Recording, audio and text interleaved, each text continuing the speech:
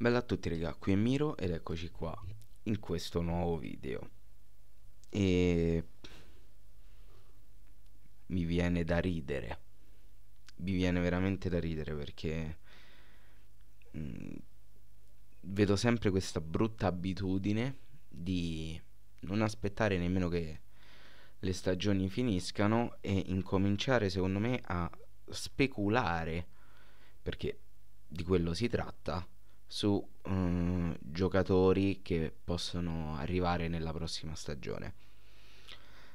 Questo, questo nome l'ho letto questa mattina girando un po' così, leggendo un po' di notizie.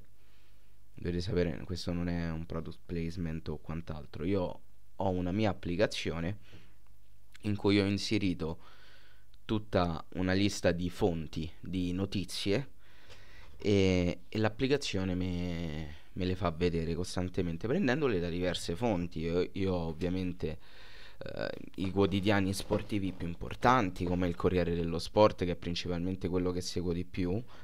Uh, però anche la Gazzetta, o Sky, o Dazon, o per dirvi la Repubblica, o il Messaggero, comunque parecchie fonti di notizie, o Sky, o l'Huffington Post, o il Post e questa applicazione mi fa vedere tutte le notizie prese dai siti eh, una per una in ordine temporale, quindi dalla più nuova alla meno nuova. Così giornalmente, quasi giornalmente in realtà, scorro questa applicazione e mi compare la notizia di Miretti che sinceramente non, non ricordo nemmeno benissimo da chi è stata pubblicata. Però, però, siamo in questo momento è domenica 24 marzo alle 10.34. Questo è l'orario di adesso.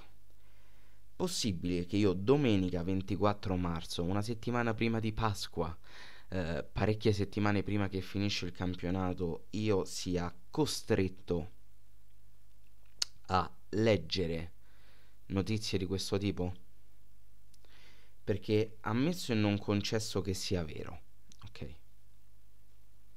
Ma perché adesso? Perché? Queste, per come la vedo io, sono quelle classiche notizie che se sono vere difficilmente la gente ci crederà.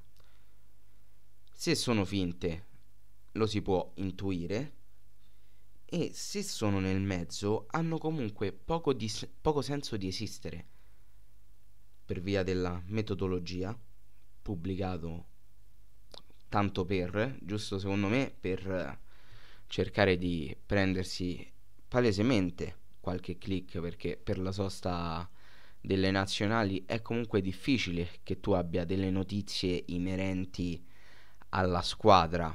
Più che altro ce l'avrai sui singoli impiegati in nazionale quindi devi cercare di attirare quanto più pubblico possibile e si sa che nel calcio l'argomento che attira di più è il calciomercato. E quindi è palese come questa notizia, secondo me, sia stata fatta semplicemente per questo motivo. Ma voglio fare un gioco, così, per divertirmi. Ammesso e non concesso che in realtà questa notizia sia vera, facciamo finta che sia vera Proviamo ad analizzarla perché anche fingendo, secondo me, che tutto questo in realtà sia reale,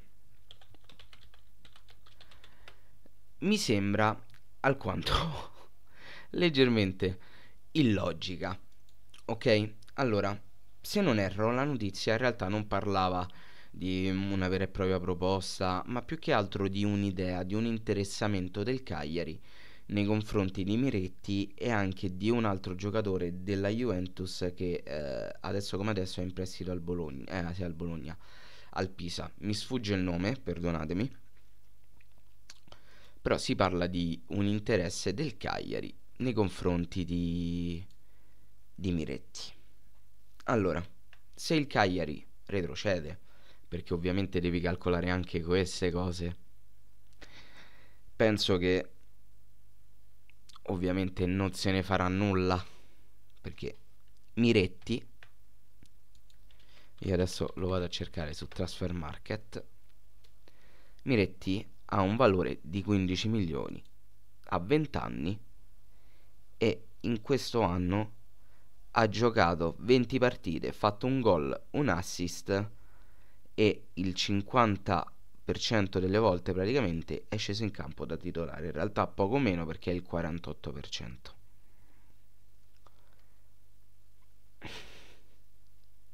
Ora, tra l'altro con anche due presenze in Coppa Italia ed anche qui un gol e un assist.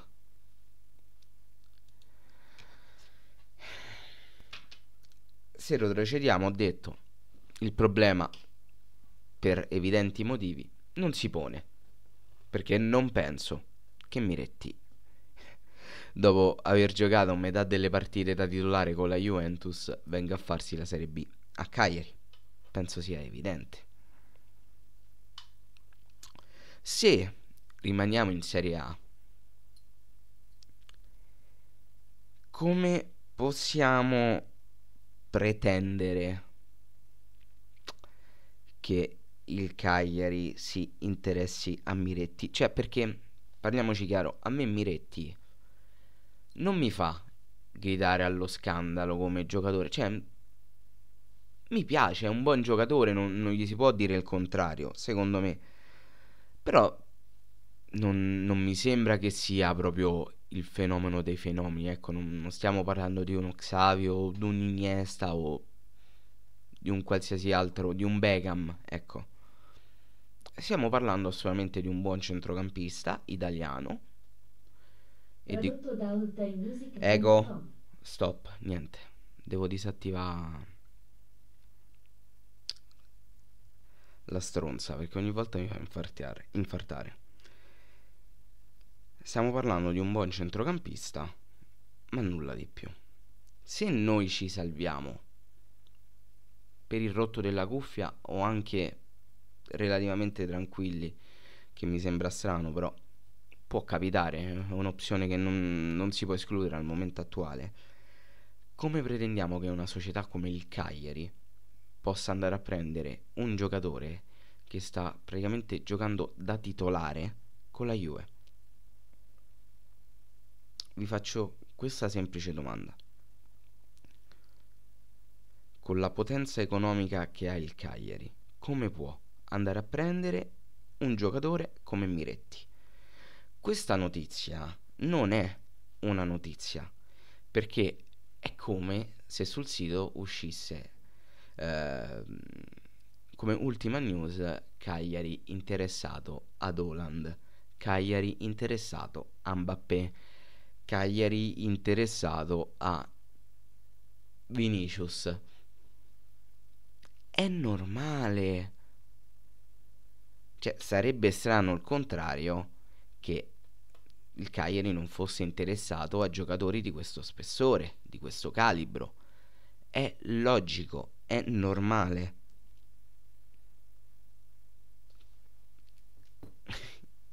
e questi geni, perché è un, una sottile linea tra genialità e non saprei nemmeno come definirlo, l'opposto. Demenza, probabilmente. È una sottile linea e questa news ci naviga perfettamente.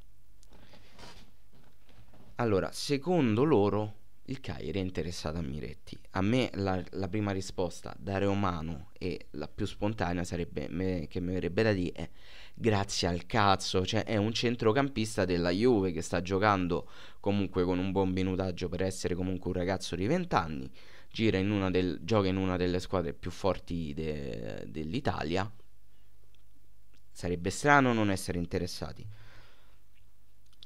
Questa notizia poi viene fatta anche tenendo, cioè tenendo, um, immaginandosi che comunque il centrocampo del Cagliari, sempre con la postilla se si rimane in Serie A, è comunque completo perché voi, io sinceramente per quanto possa apprezzare Miretti, questa frase probabilmente suonerà strana anche a molti di voi.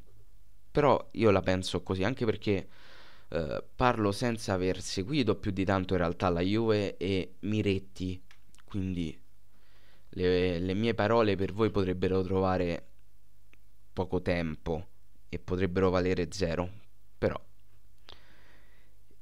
con gli interpreti che abbiamo adesso al centrocampo, io sinceramente, a parte che troverei poca giustificazione per questo eventuale acquisto, facendo sempre finta che sia vero. E se noi andessimo a prendere Miretti, innanzitutto con quali soldi? Perché è la cosa più importante. E secondo, chi andremmo a sostituire? Perché io ho un problema, io mi lego molto ai giocatori e so che non dovrebbe essere così perché quello che conta in primis è la squadra. E sono d'accordo, sono fermamente convinto di questa cosa, però comunque ho una passione viscerale molte volte per alcuni giocatori, per esempio non l'ho mai nascosta per Nandez, eh, però nulla mi vieta di criticare quando c'è da criticare.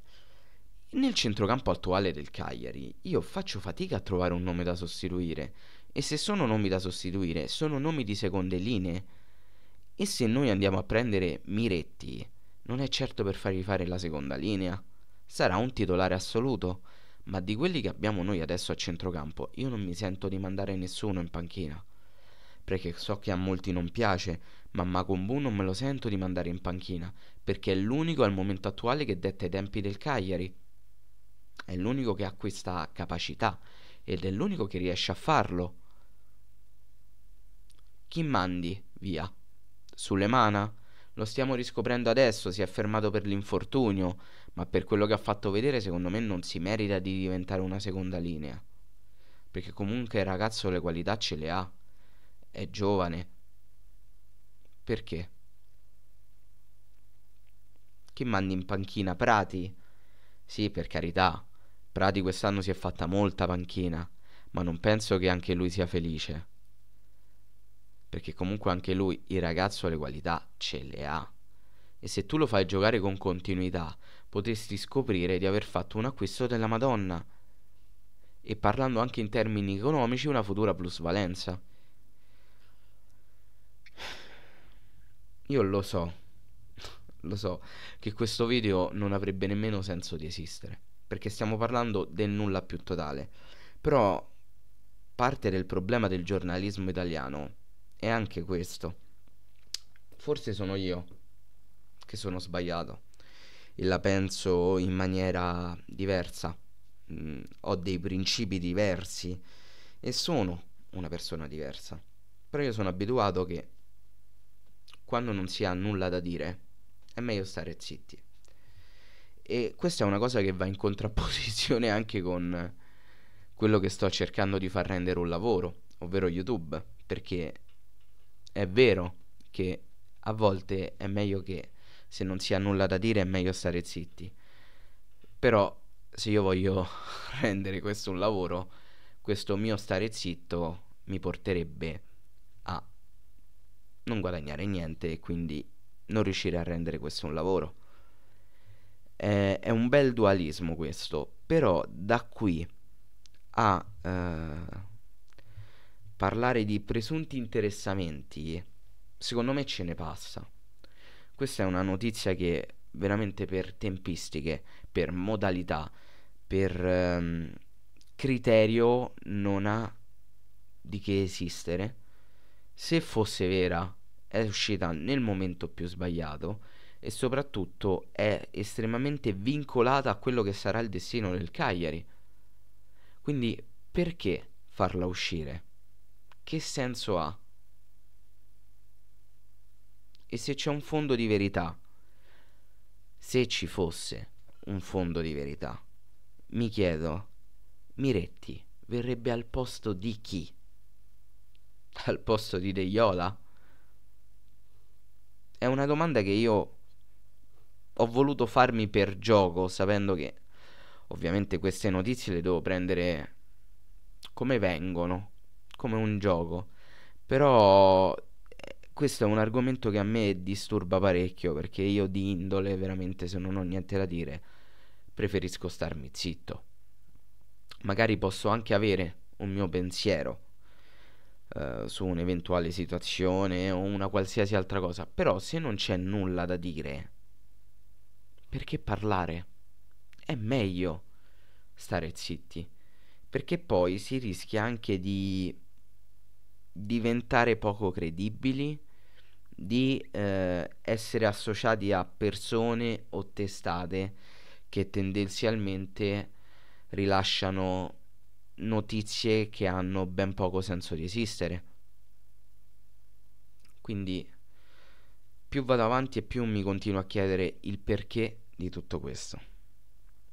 Secondo voi perché oltre a- al mero scopo ovvio e palese che io ho sottolineato soltanto una volta per ovvi motivi, ma oltre a- al fatto di ottenere qualche click in più, perché c'è questo atteggiamento? E nel caso fosse vero, secondo voi, Miretti a chi dovrebbe rubare il posto? Di chi prendere il posto? E chi sarebbe a essere ceduto? Con quali soldi arriverebbe Miretti? Perché io sono veramente... Perché poi oltre a comprare il giocatore dalla Juve, che de certo non te lo regala a due spicci, perché già il suo valore è 15 milioni, e secondo me se lo vuoi portare a Cagliari lo devi almeno raddoppiare e poi l'ingaggio glielo devi pagare. chi verrebbe ceduto e con quali soldi? Lo andremo a prendere. L'ingaggio, chi glielo paga? Perché, giusto per curiosità, sicuramente prenderà poco, perché non prenderà più di tanto. Fabio Miretti, ingaggio. Cioè, comunque, ha 20 anni e già prende un milione di ingaggio. 2023 e 2024. Fonte da Zone. Tra l'altro ve lo faccio anche vedere a voi, così per completezza di informazioni, perché poi sembra che me la canto e me la suono. Eccolo. Fabio Miretti, 48% delle partite da titolare, contratti in scadenza del 2027. Questo è il rendimento attuale.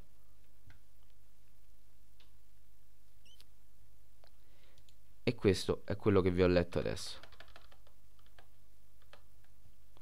Miretti. Voglio selezionare, ecco. Miretti percepisce un milione all'anno. E secondo voi se arriva a Cagliari vi chiede soltanto un milione? Fatemi un favore, mi rivolgo a tutti i giornalisti e le testate pubblicate con criterio. E piuttosto non pubblicate. Ne vade più che altro la vostra reputazione.